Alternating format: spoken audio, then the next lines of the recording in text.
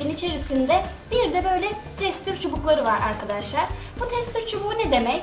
Bu tester çubuğu bayan genital bölgesinde herhangi bir enfeksiyon var mı? Varsa bunun şiddeti ne demek? Bunu anlamaya yarıyor arkadaşlar. Şöyle bir şerit var.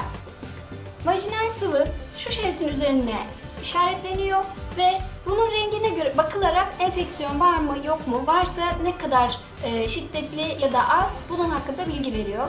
Eğer mesela sarı renkse yine aynı şekilde herhangi bir şekilde enfeksiyon söz konusu değil demek oluyor. Biraz açık yeşilimsi ise hafif miktarda enfeksiyon var demek oluyor. Eğer koyu yeşil şeklinde ise enfeksiyon biraz daha şiddetli anlamına geliyor.